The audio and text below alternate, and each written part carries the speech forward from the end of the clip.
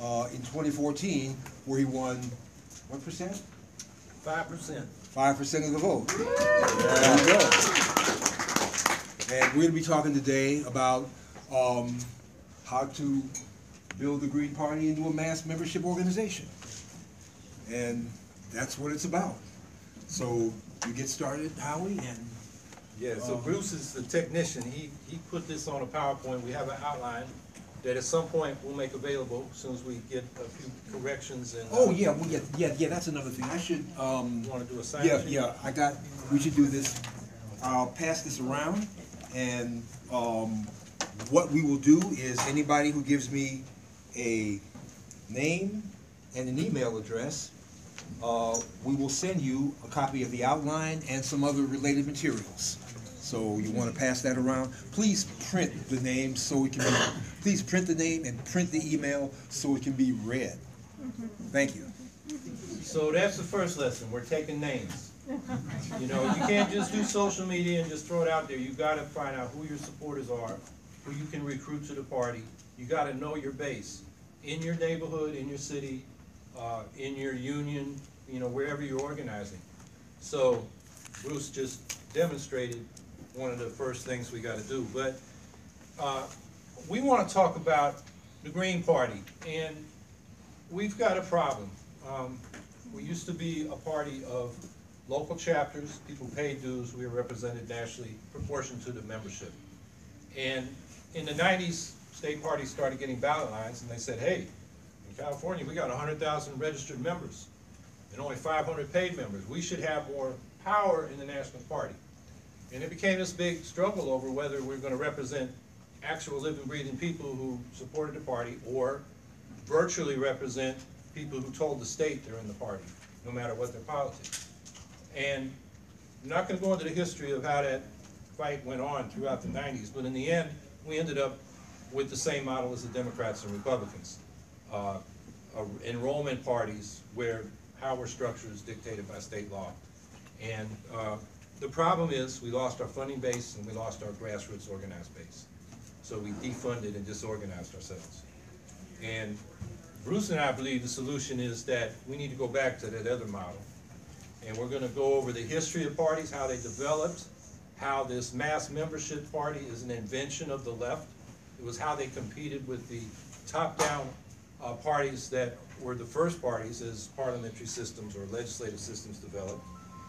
And, uh, talk about the things this solution can do, the dues finance it. And the idea that the little people won't make little contributions and fund a mass movement, the Bernie Sanders campaign disproved that. Two and a half million contributors, what did they raise, hundred fifty million or more? Two hundred. Two hundred million, okay, so, uh, the idea that we can't fund it, uh, with the little people, I think has been disproven. Uh, We believe the solution enables mass participation, we talk about grassroots democracy, but if you can't go to your local Green Party meeting and talk about what's an issue we gotta address, how we organize a campaign, what our positions should be on something, who our leaders should be, even if our leaders are not representing us, how we replace them, uh, you, you don't go to your local Democratic committee to decide how we're gonna fight for fifteen dollar minimum wage in the city, or how we're gonna fight TPP. You go to the old party committees basically to get network. You want a job with the city public department, Department of Public Works, you want a contract from the mayor, you know, you start paying your dues in the party committees, which just mobilize people. They are not what we think of when we have a green local meeting where, you know, we talk about issues and how we're gonna organize. So if we're gonna have a mass party, we've gotta have a way for the masses to get engaged. Um, we think one of the missions of a party should be to unite us, the people, the working people. We're divided by race, obviously. We have increasing geographic race and class segregation in this country over the last four decades. And within the working class, we're divided between union, non-union. The non-union kind of resent the union benefits that the unionized people got. It's big and small business, different kind of work. You work alongside your boss in a small business, you got a different mentality than if you're working for a big corporation in a, in a management hierarchy. Um, you've got public workers and private workers. Public workers generally, although these were, they're losing this, have defined benefit contributions. Private workers tend to have been moved over to the defined contribution, formal 401K program. So private workers resent the public workers. So we got those divisions. Then we got all these people in the prison system and the welfare system who are working class. And you got some working class people that are sitting on the other side of the bars watching them or the other side of the desk, you know, dealing with their benefits. And so we need a place where people can come around in a city across these divisions and find their common interests. And it's just not gonna happen, uh, by, you know, social media saying, let's treat each other with respect or deal with our white supremacy or whatever. We gotta get down face to face and hammer out, you know, and find out what our common interests are. That's something that a party needs to do. Um, and Bruce, you gonna, I'm gonna say we need to stick to the script, because what you're saying is in there. all right, well, I'm, yeah, I'm giving the summary first. Okay, all right. And, uh, it's going, we're talking about our party should be involved in building social movements, not just joining them. And Bruce is gonna talk more about that later, because the, pri- the nonprofit industrial complexes with the big money behind it's kind of dictating our agenda. And finally, it should be a place where we do political education. So, I should be looking up here, right, instead of my own outline. Okay, so, It's close.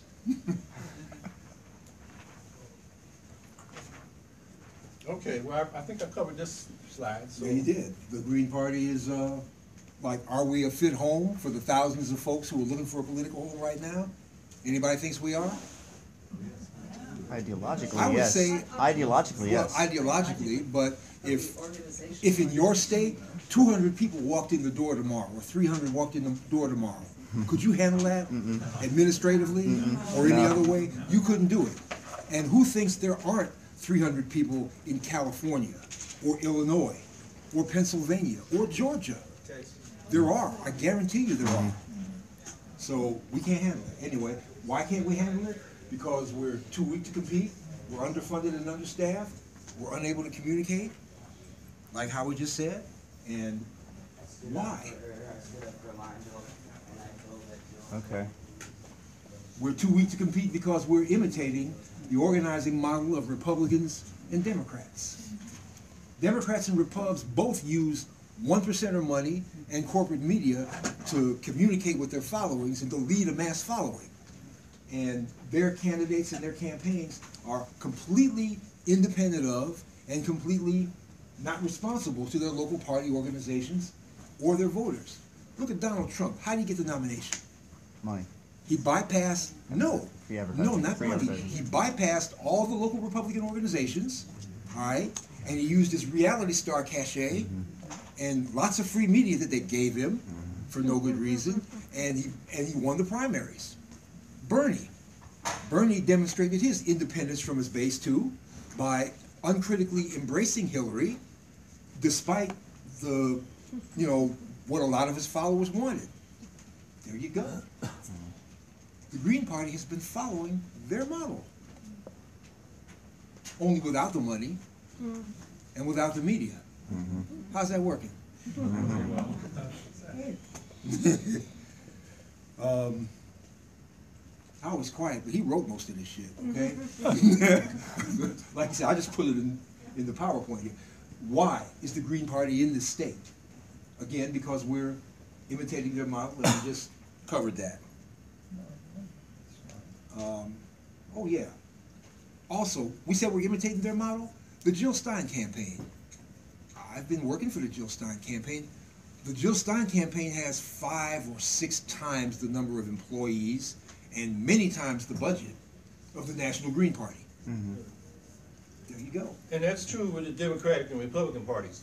Um, they are not only capitalist ideologically, they're capitalist as an institution because the real power structure in the Democratic Party are not the formal committees. Like I said, that's where you go to network, you know, to get a job or a contract. Um, the real power structure are the campaign organizations. Each candidate is an entrepreneur. They hire some people to, they form a little company, and then they seek the investors. And who, the- you know, the fat, the big money, the fat cats invest in these different campaigns and largely determine who comes out on top. And so that's the real dynamic there. Now, in the Greens, it's a little different in that we don't accept the corporate money, but we have people who you know, basically professional class people who got more time and discretion over their time and more money and they tend to dominate in our politics in the informal structure we've got. And one of the things we're talking about, this mass membership structure, is not only the grassroots members supporting it financially, but having a way to hold the whole organization accountable to them at the base. So that's where the Greens are a little bit different than the Democrats and Republicans, but the problem is our formal structures aren't really providing the leadership and the accountability. It's the initiative of candidates. And I, when I ran for governor, I raised two hundred thousand dollars. The state budget of our party is around twenty thousand dollars. So that, there you go. And the Greens' national budget, after we pay a hundred thousand for fundraising, we have about two hundred thousand to spend. You know, that's the size of a basically underfunded nonprofit in the hood. You know, mm-hmm. it's, it's not, and we're trying to be a national party, so that's why we're saying we need to look to a different model. So where's the money gonna come from? Where? Dues, come on. What do people pay in church? Tithes, Tithes. well, they call it tithes, but it's still dues, isn't it? What's the difference? Okay? Dues give us, oh, yeah, dues give us the financial resources we need. Uh, the Sanders campaign is only the most recent example that the money is out there. It's also proved by the existence of tens of thousands of churches, small and large, that run off the tithes of willing believers, who are often the poor. So if people are willing, if they buy what you're doing, they'll contribute. Dues give us, oh, dues give us the financial resources we need. We already said that, we? Yeah, this is the part I was covering, you said I was Okay, on the right, script. yeah. I was, I was just ahead of you. Clearly, way ahead of us. Um, the other thing is that locals, um, underneath the national and underneath the state, um, you, I mean, you can organize by counties, but you know, whatever you want to call it, uh, you know, you know, but Georgia, where I live, has what 112 counties. Is that right? Uh, one fifty-nine. 159 counties. Uh, a couple of counties have a population of 2,000. The county I live in has a population of 700,000. And there's one county, floating with a million, and Wow. and three more counties with 800,000. So you know, so so if you're organizing by counties, then are you going to give the 2,000 people the same voice as the million people? I don't know if you want to do that. Uh, but locals do enable mass participation. Locals are where your grassroots people can be active in the party. And again, if the party's not active, who's gonna pay dues? And questions, we'll, we'll, we'll have a good period for questions at the end, my brother. Uh, locals give us the grassroots organization for grassroots democracy. They're training grounds. Locals make possible, active locals make possible the accountability of party officials on every level and accountability of campaigns and candidates, mm-hmm. which are not accountable often. Party locals are where we can begin to unify the working class by building relationships and solidarity. Solidarity across the lines of race, geography, solidarity across occupational divisions. Howard's way ahead of us, isn't he? I, I told you he wrote this stuff so we can spill it out, you know.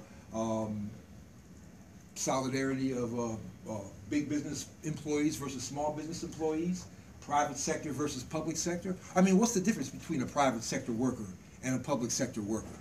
One's on the government payroll. Just who signs the paycheck. That's it. That's it. The only way they want you to think different is so they can get you one at a time. Um, and of course, the difference, solidarity between and among uh, folks who work in the welfare and prison systems and folks who are in the welfare and prison systems.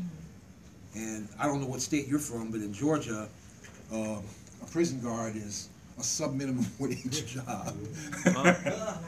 That's how, that's how the cell phones get in there, okay? They gotta make some side money some kind of way, you know?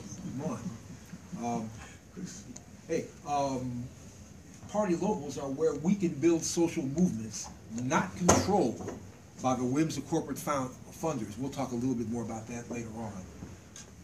And where did the nonprofit thing come from? Okay? Some of you have read history uh, from back in the 20s, 30s, and 40s. Did they have nonprofit organizations No. and single issue organizations back then? No. Heavens no. That is, those things are an invention of the funders from the late fifties, early sixties, post-civil rights era, sixties, seventies. That's where it came from. Hey, brother, can you do us a favor and get three or four more chairs from somewhere? We can, we got space back there for them. Please, if you can get just three or four more. Um, okay, yeah, before the 1960s, and the rise of the nonprofit industrial complex, social movements were not built by single issue organizations competing for grants. They were built by self-funding, dues-paying parties, by labor unions, and by farmers' alliances. In the latter half of the nineteenth century, the labor unions and farmers' alliances organized parties. In the first half of the twentieth century, left parties organized unions, consumer rights, peace and civil rights campaigns. Bang. Party locals are where we can conduct political education. We want to change the world, okay? Would you trust a doctor who hadn't studied the human body? Hell no. Okay, would you trust a dentist who hadn't studied mouths and teeth? Why should we trust a party whose members don't study how parties are put together and how societies are put together? Who don't talk about it? Do Democrats do political education? Yeah, it's called the TV. Sure they do. It's called CNN and MSNBC. Republicans do it on Fox. And some of it happens in your school too Yeah. uh, political education and study groups, forums about social problems, the systems and the power structure. I live in Atlanta. Atlanta's a fairly big city. Metro is like five million people. When when interesting folks like Howie or somebody come through town, is there a place where where we can say, oh, who's going to be in town this two weeks? Howie's going to be in town, and um, after that, uh, two weeks later, Cornel West is going to be here. Where is the place where we can take them to have them speak and draw an audience that people are used to coming to? Mm-hmm. You know where? Nowhere. It doesn't exist. Mm-hmm. But if we had a dues paying party, self financing party, we'd have a stable place to meet. We'd have a hall we could call on where we wouldn't have to labor under the stuff that you do when you get somebody's church and they say, well, you know what? You can use the hall here, but you can't talk about politics. You can't talk about running for office. You can in my church. And it was some churches you can, but many you can't. Okay, and some other places you can, many, and you can't, cor- and, and you can't collect any money. But you got to pay us for the hall. But you can't collect any money. Mm-hmm. Come on. man. political education. We're talking about political education about what our policy platform of socialism ought to be. Political education about how to organize and maintain party bodies. We'll talk more about that. Issue campaigns, electoral campaigns, and more. Whoa, did I skip something? Yes, I did. There we go. Hey, a brief history of political. I'm gonna turn this over to Howie. Howie, Howie did. Howie's got big shovels, and he apparently dug all this stuff up here. So, deal. Well, uh, there's a lot of information in the outline, and I'm not gonna go over it in detail, but historically, parties came from the top down. You, we had representative bodies back, even the Romans, the Roman Senate, you know, and they had factions. They had the patricians representing the landed elite, the nobles, and the plebeians representing basically the merchants and, uh, the middle class. And then they kind of disappeared until we started getting representative assemblies, starting in England, the English Civil War, English Revolution. Uh, different classes started fighting for uh, who would have the power. So the parliamentarians, or the Roundheads, opposed to Royalists or the Cavaliers in England, uh, in the Civil War, and by the time the Revolution in 1688 came out, the pro-parliament Whigs were fighting the pro-monarchist Tories. And that was the beginning of parties. And in the United States, it came from the legislative caucuses, the Hamiltonians and the Jeffersonians. And the Hamiltonians were tended to be pro-England, pro-monarchy, the Jeffersonians, pro-revolutionary France, pro-democracy. Except when the Haitian Revolution happened, they weren't for that, you know, because a lot of them were planters and slave owners. So a lot of contradictions there, but basically that was the first party system, came from the top down. Nominees were appointed by these legislative caucuses, but as Republican ideals spread amongst the people, they were demanding we shouldn't have a property qualification on the vote. We should all vote. And uh, so in the Jacksonian era, which was the second party system, They got rid of the property qualifications. And then an American invention was a convention. What we're doing today was invented by a third party, um, which was the, uh, I think it was the anti-Mason party up in New York, um, in eighteen thirty. And, uh, and then the platform started coming in, in, uh, the same period. It was third parties that kind of raised it at that period. And so the Hamiltonians disappeared, the Federalists who, you know, were kind of anti-democratic, and you had, you know, the Whigs and the Democrats, and that was the next party system. Next party system was growing out of the Liberty Party, abolition, which evolved in a Free Soil Party, which was free labor, uh, free men, free labor, free soil, and free speech. And that became the Free Soil Party and then the Republican Party. And so by the mid-fifties, fifty-four election, no, fifty-six election, fifty-eight election, the Republicans established them as the second party in Congress. And then Lincoln was actually a second party candidate, not a third party candidate, in a four-way race.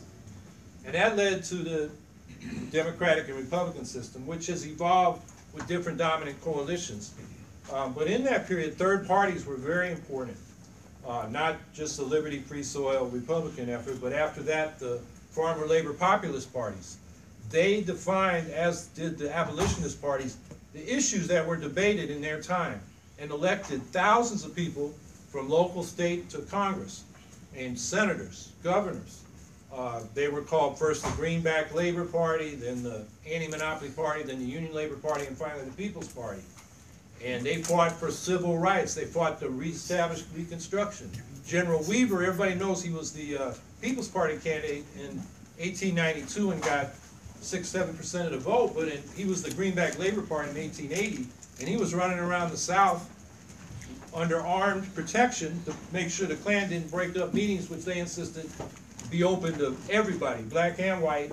And uh, so they were fighting the imposition of what became Jim Crow. That was a 20-year fight in which third parties, uh, in a contradictory way, but definitely were fighting the imposition of Jim Crow and the disenfranchisement of black people and also poor people in the South. Because when they put a poll tax or a literacy test, it not only affected black folks, it affected poor white folks. But that was uh, another party system, and then they evolved. The New Deal coalition broke up, started in the 30s, broke up in the 80s, and then we have two very conservative parties since that time. Um, and you can call it neoliberalism or the imposition of austerity. But the point is, the party systems change, and today, you know, uh, Glen Ford at Black Agenda. Report, a guy named uh, Michael Lind, who's with one of these think tanks, people are looking at what's going on now, where you have a rebellion from below of the, the voting base against the elites controlling both parties, which have imposed austerity on the working people and got us involved in a bunch of damn wars that people really don't want to be involved in. So the, the party system may be breaking up right now. You've got the corporate militarists, definitely got the Democratic Party with Clinton. You got the Sandernistas who really don't, there's a contradiction there. And we're the party where they ought to be. And we're getting some indication people are coming to us. So that's the Democratic coalition splitting between progressives and, you know, the corporate militarist elites. And then on the Republican side, there's three factions fighting for the Republican brand. You've got the old Republican, the country club Republicans, the Wall Street Republicans, the corporate militarists, pretty much like Clinton. Some of them are supporting Clinton this time because they can't stand Trump. Uh, they're, they're trying to hold on. And then you got the Trumpists. Now, Trump is, Trumpism to me is whatever's good for Donald Trump. I mean, I don't think he stands for anything but himself. But the base has said, we don't want our social security. We don't want entitlement reform. We don't want our social security cut. We earn those benefits. And we don't like these foreign wars. And we don't like what you Republican elites have been doing. We're downwardly mobile. This is, you know, white working class and middle class folks. Our life expectancy is going down. So we got issues. And so we're voting for this guy that seems to be thumbing his nose at the establishment. Um, so that's the Trump faction, the populist faction. And then you've got two Republicans running on the Libertarian ticket, two former Republican governors who are trying to represent sort of the moderate Republican, socially liberal, uh, an older type of Republicanism that's pretty much been pushed out of the party but still exists. So it's very interesting. And what does that mean for us? Like Bruce was saying earlier, there are we we could be flooded, and are we organized enough? Do we have the resources to respond to these people who expect when they say, "I want to help," for somebody to get back to them and help them help? And so that's why we need to think about how we're structured. Um, so, the other part of the history, you want me to go into the different, uh, party structures, you know, the, Yeah, okay, yeah, we're half, what, what, what do we got, seventy-five minutes? yeah, I'll just give it a summary Yeah, we can so do a people get a of sense that. of, Yeah, sure, of what's, where we've gone. So, the legislative caucus system was top down, I talked about that.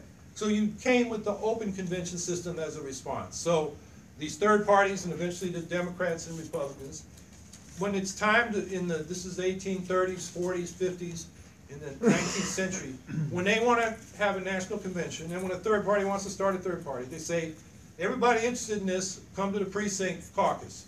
And we're gonna elect delegates to the county convention, and the county convention will elect delegates to the state convention, and the state to the national. More democratic than the top-down legislative caucus system, but the problem is, when the doors are open to whoever wants to show up, and there's no, uh, commitment to the party and say financially in terms of dues, or agreement with a set of political principles, uh, you can get a situation where, and this happened in the eighteen nineties with the People's Party, in ninety-six, they ended up cross-endorsing the Democrat. The, the populist delegates from areas where the Farmers Alliances were organized, they tended to be for, we're gonna run our own candidate.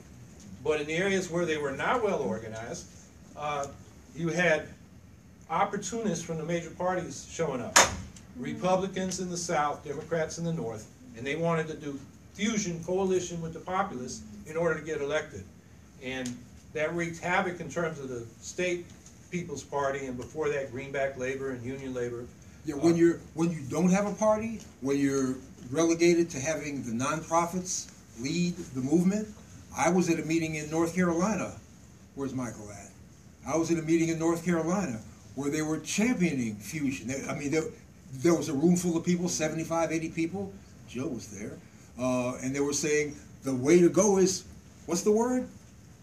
Fusion is the way to go.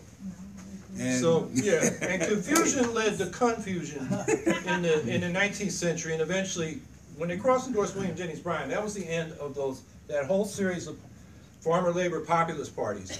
Um, and the, the you see what the reason is, is that anybody could show up, and they came there with different agendas, so you couldn't really control what was going on. And I just wanna read a quote from Lawrence Goodwyn, who, you know, is one of the foremost, uh, uh, historians of populism, and he said uh, in the populist moment, in democratic terms, the structural weakness of the People's Party evolved from the failure of its organizers in the founding convention in 1892 to understand that the third party, to be authentically democratic, had to be organized as a mass party with a mass membership. Instead, it was organized, like all large American parties before and after, as a representative party, with elite cadres of party regulars dominating the organizational machinery from precinct to national convention. The People's Party spoke rather more tellingly than most American parties have ever done in the name of the people, but in structural terms, the People Party was, the People's Party was not made up of the people. It compromised, it was comprised of party elites. Its ultimate failure, therefore, was conceptual, a failure at the theoretical level of democratic analysis. Here's the quote. So, uh, you see what he's saying. They had these farmers alliances. They had between the Colored Farmers Alliance and Cooperative Union in the South, uh, the White Farmers Alliance in the South, the Northern Farmers Alliance. They had 7.2 million dues-paying farmers, uh, agricultural workers, and allied industrial workers, the remnants of the Knights of Labor and so forth, paying dues. And instead of saying, you had, instead of delegating from those local organizations to their conventions, they said, we're gonna open up a parallel structure, anybody wants to show up, show up. So these opportunistic Democrats and Republicans and eventually diluted the populist program and their political independence. Now, the other thing that was going on with this open convention system was party bosses, urban machines. And the reason we ended up going to primaries, the progressive movement said, we got these bosses. And so when they called the uh, precinct caucus in the machine area, you know, you got thugs sometimes saying, you're in because you're with us, you're not because you might not be. And basically the boss is controlled from the top down. And in the end, the smoke-filled rooms, you know, decided who the nominees would be.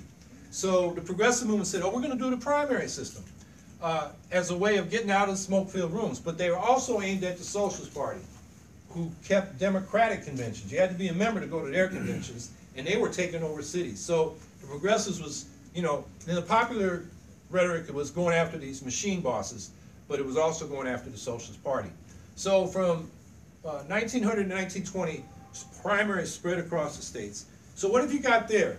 You know, it's nominally more democratic, but in fact, remember that party structure I talked about, the candidate organizations with the capitalist money invested in them? They pre-select who the people get to vote for when they get to the primary ballot. And in the meantime, the people are atomized, they're not organized, they're not discussing among themselves what our program is and who the candidate should be to represent us. They just show up at the primary, and they've been advertised at by the mass media. Today it's TV, back then it was newspapers. And uh, so it was supposed to be more democratic. In fact, it was just a more sophisticated way of having the open convention system with party bosses controlling. Now, the socialists at the time, they set up a membership organization. Your state party was recognized when you had an X number of locals. It's in the notes here somewhere. There it is, yeah. The Uh, Socialist Party developed a different yeah, structure, Democratic Membership Convention. And they drew, lessons. they drew two lessons from the People's Party. First, uh, their party constitution said we're not gonna fuse with Democrats and Republicans, because that killed the populace. Now, they put it right in their constitution. Secondly, uh, only members who pay dues can vote in party decisions. They decided living, breathing members who are committed to the party enough to give a small donation every year are the ones that are gonna make the decisions, not whoever shows up. And one of the things, if you've been involved in movements, when things are exciting, all kinds of people flood up, and it's like, some people think, well, it hasn't worked because I haven't been here, but now I got all the solutions, you know? And then they, and they, they create chaos, impose decisions, and then they flood out when the movement, you know, uh, uh, wanes, and the people that are committed there for the long haul are left with their decisions. So, Second, only members who Right. pay dues, like you said, can vote Mhm. on party conventions, because you don't want to be flooded by folks who are gonna leave tomorrow and not have any stake. So, right, here we go. These are the, ten, the- their state parties, you had to have at least ten locals with five members or two hundred members total. This is their nineteen seventeen constitution. And their per capita dues, the way they did it was a state party pays a per capita for the members. So you, s- you sign a nas- a membership form, send it to the national office, and then the state party pays you per capita, kinda like the AFL-CIO for those of you in the labor movement. Um, and it was about ten dollars in today's dollars that the state parties paid to the national for every movement. So, uh, we got some numbers, I think, do we put them in later? That, that would explain how much money that would raise for us. Um, So the socialists maintain the system alongside the primary system. Um, the state election laws mainly are concerned with who gets to vote in the primary. So the socialists, I wish I could flip it to the next page, but I'll read the quote. Um, they said, uh, in criticism of this primary system, he said, they, said in the socialist call in nineteen fourteen, in their eagerness, their being the progressives, in their eagerness to get the reputation for being small d Democrats, these pseudo-Democrats who are running things now just want to break up political parties. In other words, atomize them like I was talking about before. If they really wanted to have real democracy, they would pattern parties after our party. So this was a conscious debate on the left, whether primaries were actually more democratic or a diversion from membership conventions where the leadership of the party, the candidates are actually answerable to a real membership. And it's a So- debate you hear nothing about anymore. I mean, before I started looking at this uh, a few weeks ago and reading the stuff that Howie um, sent me, I never heard anybody question the primary election. Where did it come from? Everything comes from somewhere. These things come from somewhere. This is why we need locals so that thousands, tens of thousands, millions of folks can be able to hear this history and appreciate it and make their judgments knowing it. So let's give that example from New York, because I think, you know, the establishment at this time saw that too. Um, So, Example New York yeah, socialists in nineteen twenty. in nineteen ten, there were eighteen socialists elected to the New York State Assembly in New York State, and they were anti-war. Um, So in nineteen twenty, there were only five, you know, you had the Red Scare, the Palmer raids, you know, this- Eugene Debs was running for president from jail, but they still elected five, and the, the Democrats and Republicans said, we're not seating you because you're anti-war and disloyal, if not treasonous. Uh, so they called a special election, and their districts re-elected the socialists. And then we get to nineteen twenty, and they get reelected again, and they are not seated. So the Judiciary Committee Assembly says, All right, we gotta justify this. So they did a four thousand four hundred twenty-eight page report on revolutionary and subversive movements abroad and at home. And I stumbled upon this in Google, and they got, you wanna read about the Serbian socialist movement in nineteen twenty, it's there. Sri Lanka, you know, every Latin American country, Asia, and they got New York. And here's what they said about New York, which I think is very revealing. The expression Socialist Party of America is really a misnomer for a group operating under this name is not a party. And the Socialist Party is in reality a membership, Membership organization. organization.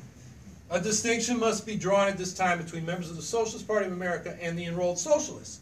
A person enrolling in the Socialist Party under the enrolling under the Socialist Party emblem on registration day in the state does not there become a, thereby become a member of the Socialist Party of America. In other You get words, the point. yeah, in other words, the last thing, you- the, the, the Socialist Party was outlawed because in their terminology, it wasn't a party. It was an organization. They want you in parties, but they don't want you organized. There In you other go. words, enrollment parties where you show up at primary and vote for the candidates they pre-selected for you. Is to be disorganized. Right. By definition.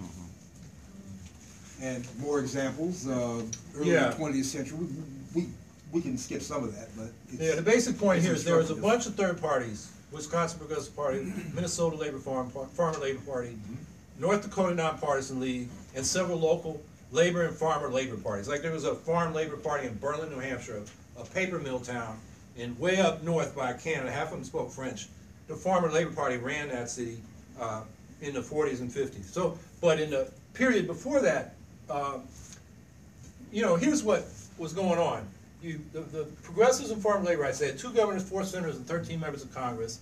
Unions are passing resolutions for the Labor Party. FDR polls, National Democratic Committee polls and finds if, you know, Floyd Olson from Minnesota or Huey Long from Louisiana runs third party on a more radical program than the New Deal. And remember, the first New Deal was basically, it was fascist. You know, it was coordination between the corporations and the government. It wasn't Social Security, National Labor Relations Board, WPA. That came in response to this.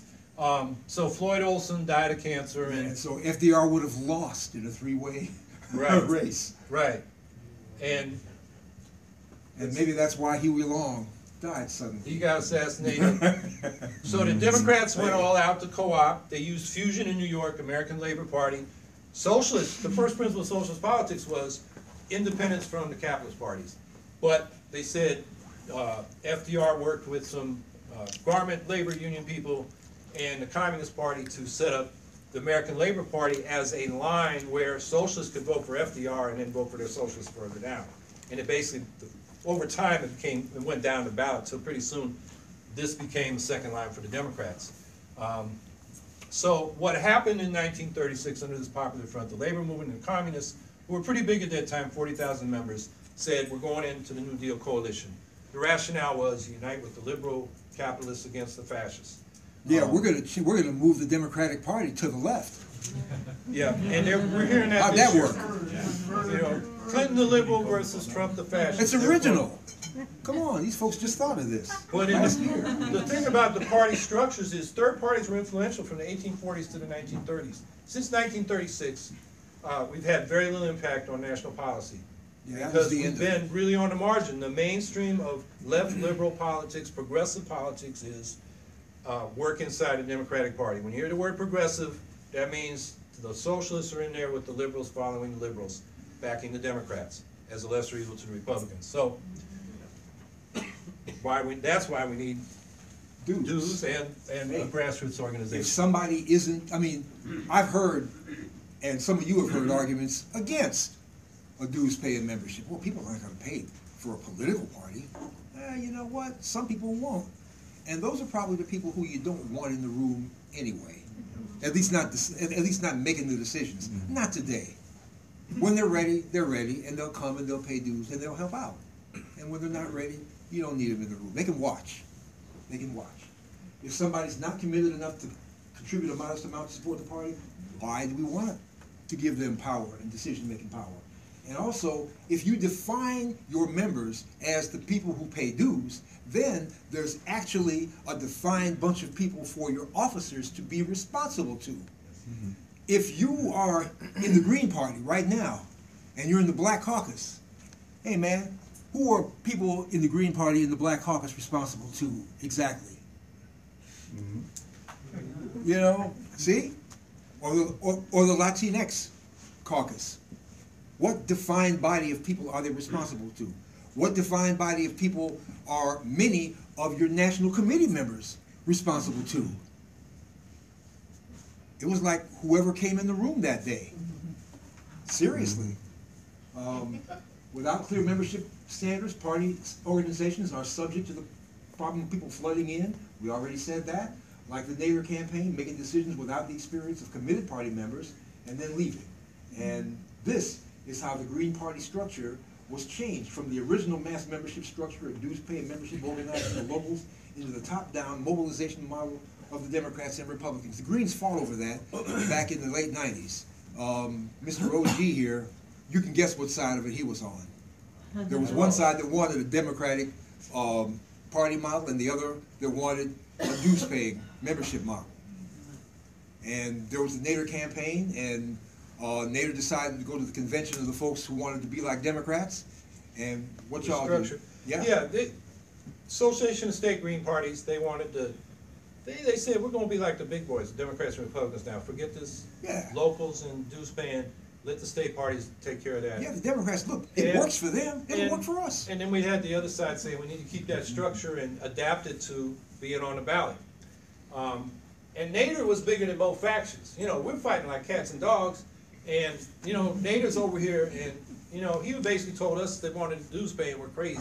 So we went to the other convention, and we said, Nader's bigger than both of us, we gotta be where the Greens are, and so that's how it was resolved, you know, politically.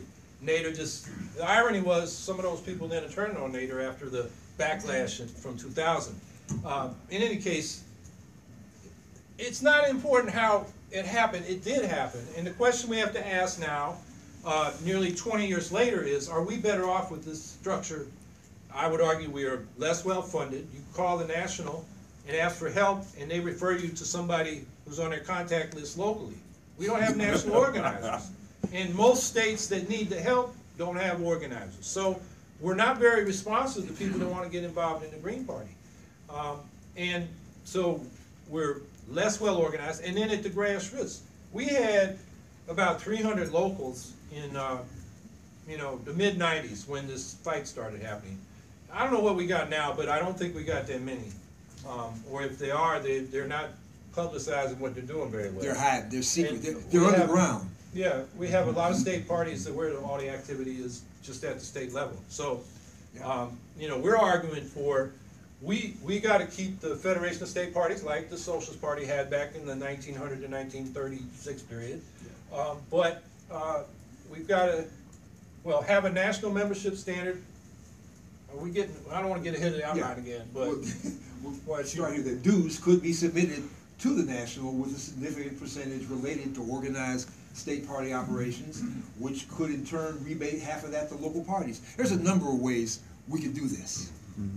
Um, or states could collect dues and provide people with a per capita, like you said, uh, organized labor does. Say ten bucks a member, like the Socialist Party does, and then share the rest between the state level and local. And by the way, if you've got a stable, uh, thing of organized people who are submitting dues, there's people with real means who kick in more.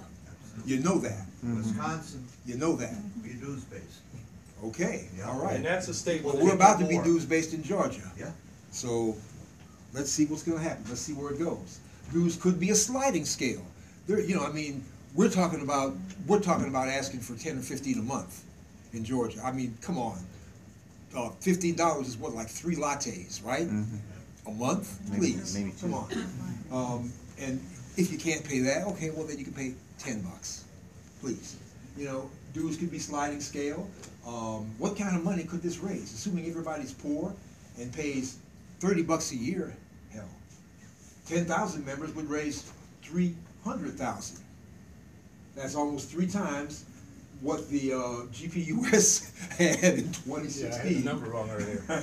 Okay, yeah, um, but you get the idea, a hundred thousand, uh, members under that would raise three million. I would make, I would make it, um, well, what, uh, ten bucks a month is hundred twenty a year. So if you multiply this times four, Four. a hundred thousand members would give you twelve million dollars. It should be on the next slide. Yeah, it it should, it should, it should. Um, a million members could raise a lot more, I don't know how many more. Um, at this point, we're approaching the scale of the Knights of Labor. That's a blast from the past, ain't it? Eighteen eighty-six? Um, a blast from somebody's past, but thirty bucks is low. Acorn was membership supported. Yeah. Okay, that's one of the reasons they had to disband it, to wreck it. The National Welfare Rights Organization And they being was, the Democrats, the Oh, Republicans yeah, attacked yeah. and the Democrats, Obama, my member in Congress. went along with it, Yeah, but, and, and then they found out the accusations weren't true, but it was too late for Acorn. way too late. Um, thirty bucks is low, um, anyway, this is, this is all projections. But you get the idea, you can do your own arithmetic, everybody graduated, uh, the fourth grade or fifth grade. Uh, Green Party locals, there's no necessary conflict between encouraging locals and state parties. If you're gonna do this democratically, ultimately, your members of your locals would elect your state parties, you know, on a one-person, one-vote basis. Um, the membership form, our membership form, this is a place where we ought to emulate the socialists. They made a lot of mistakes, but uh, it should include a pledge that the member agrees to, that by signing affirms their agreement with basic party principles. We don't have nothing like that now either, do we? At least not in Georgia where I'm at. Um, And the current for, representation formulas for the National Committee and National Convention are kinda complicated. They're kinda complicated.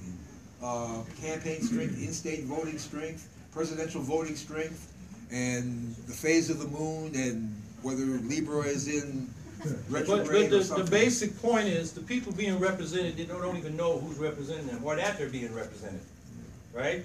The enrollees of a party where you keep enrollment in the state, uh, unless they're insiders and knew about how to petition or how to get appointed, depending on, you know, the structure of the state and the state election laws, have no idea who's representing them, how to hold them accountable. Yeah, please So sign the sign-in sheet. Those of you who have not seen the sign-in sheet, um, raise your hand so we can see who you are, and each other can see who you are, okay?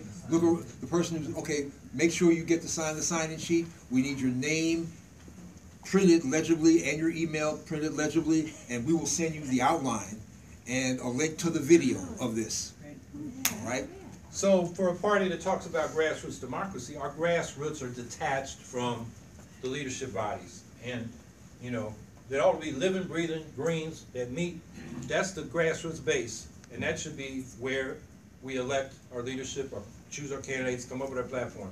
So that's why we gotta not rely on just what the state regulates. All they care about is who goes to vote in primaries. That's all state election law cares about. It's the main thing it cares about.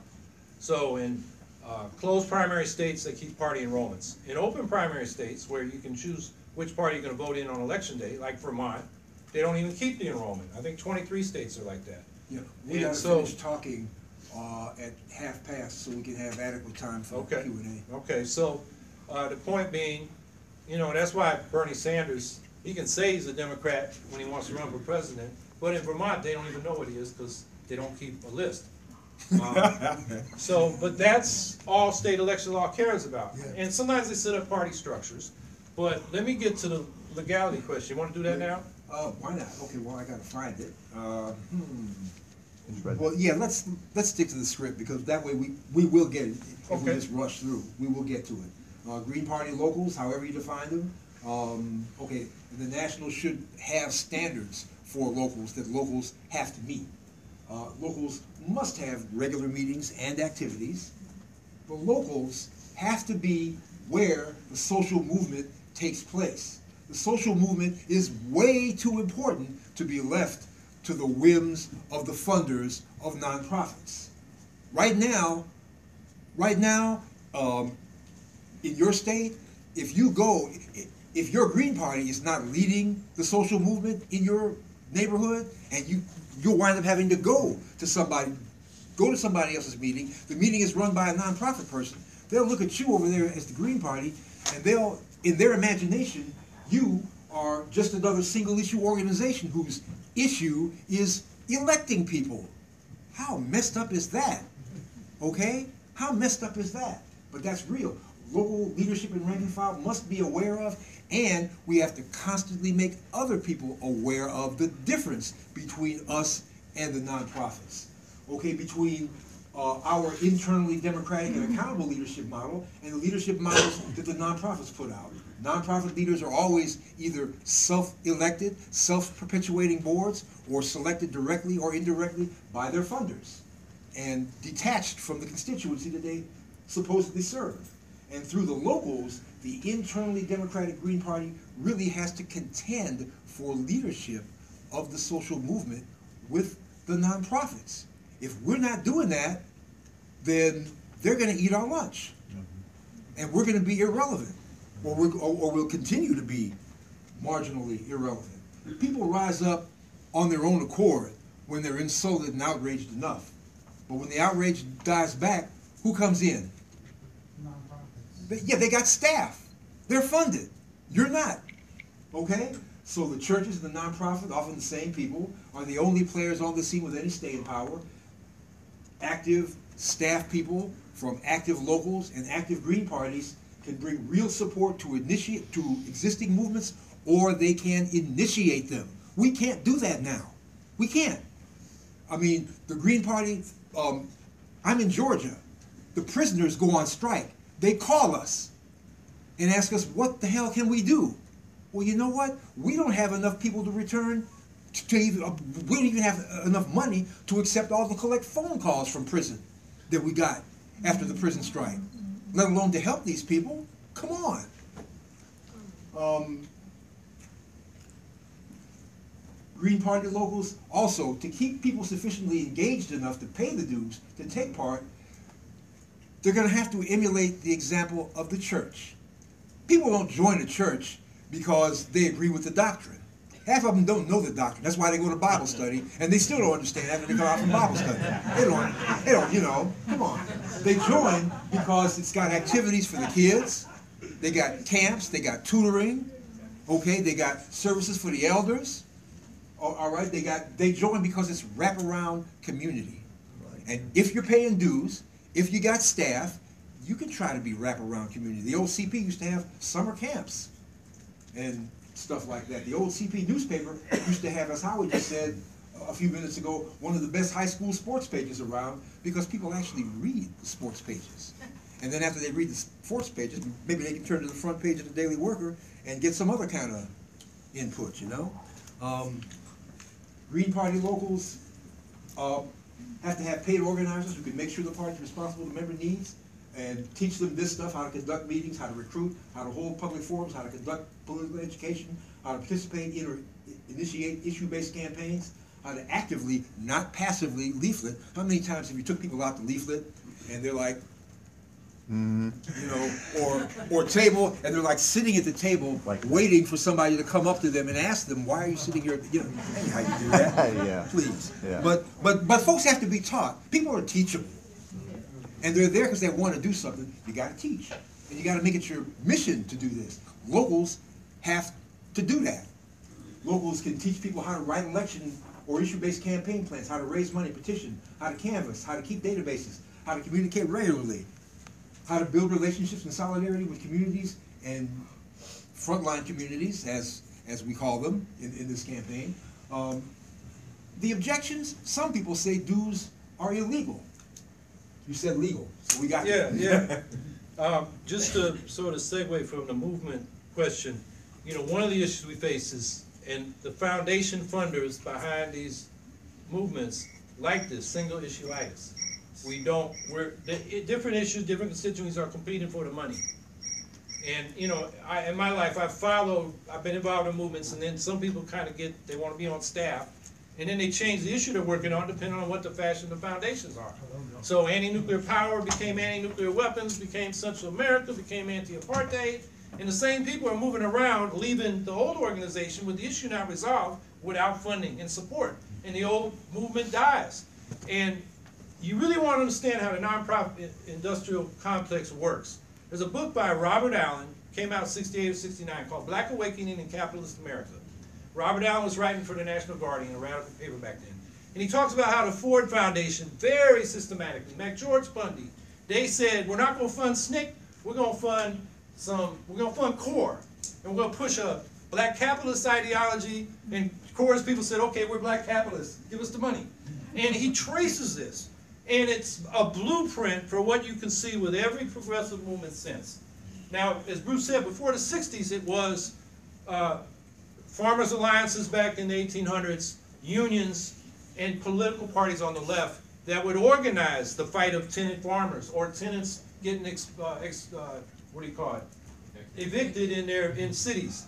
Uh, you know, the CIO, the left parties, who are fighting each other like cats and dogs, Trotskyists, Stalinists, the old socialists. But, you know, in different cities, those parties were actually very important in getting the unions organized. And what they could do as parties is relate the issues. So I think that's part of that discussion. Now, when we had the battle in the nineties, people were saying, oh, dues are illegal.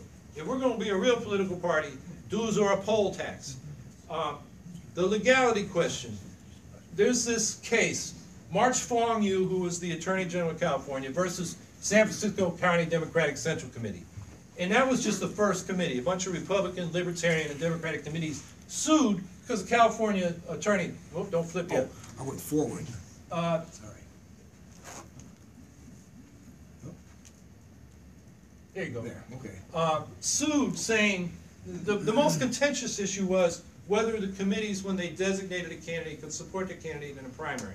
This California law says, uh, the constituted committees can't take sides in a party primary. So they said it's our right as a party to back who we want. You know, if, use the example, uh, David Duke wants to run for Senate in Louisiana. Should the Republican Party have the right to say, we're gonna run somebody against them in a primary and support that person? That's what the parties were talking about. There was also a provision in the state law that said central committees, it wasn't that dues were illegal, that said, if you're on a state central committee, you have to pay X amount of dues, so the parties have some money. That was in the state election law, the party said, uh, you can't tell us to pay dues or not to pay dues, we can set our own dues as we want. This was a Supreme Court decision that gave the parties these rights under the rights of free association and free speech in the First and Fourteenth Amendments. That's the ultimate law on this question. And since then, the Supreme Court has backed up party rights cases. So, um, if somebody tells you dues are illegal, the only thing really we can't do is say who can vote in the primaries. That, the election law, there's a compelling state interest, the courts have backed that up. But if we wanna say only dues paying members can, uh, designate in our party committees, so candidates, uh, elect representatives to state and national conventions or committees, we can do that. It's been done. The Libertarian Party's done it for twenty years. The Socialist Party, now very small, but back in the, they did it under the primary system, which we have now in the, you know, early part of the twentieth century, and they still do it. So, the legal question is not an issue. The other thing that comes up is there a poll tax. It will discourage the poor and working class from participating. And I've lived through this debate, and it's always the professors and the lawyers who say this, almost always. And they say, oh, the poor working people, the poor people, they can't pay. You have dues, poor people won't participate. The fact is, and we didn't put citations down, but you can Google this and find out how much people in different income classes give to charitable and civic organizations. And the lower on the income scale, the more they give.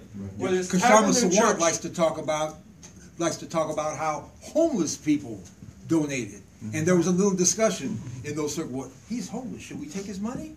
And the answer was, you know, if you don't take his money, you're denying him agency. Mm-hmm. He wants to give you this money to get this done. He wants to take part. Take his money and do what you're supposed to do. And poor people's organizations that have been effective, like Acorn, like the National Welfare Rights Organization, they wanted five dollars a month.